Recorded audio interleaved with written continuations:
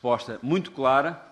Como sabe, uma parte essencial da parceria União Europeia-ACP é o diálogo a todos os níveis, incluindo a cooperação parlamentar.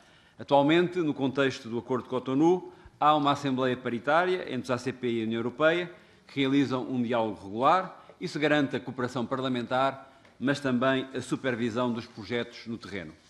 Os, eh, os países da ACP têm manifestado a intenção de permanecer como um bloco e tanto o Parlamento Europeu como a Assembleia Parlamentar Paritária declararam claramente que, que no novo acordo pós-Cotonou desejam que exista uma dimensão parlamentar semelhante e autónoma.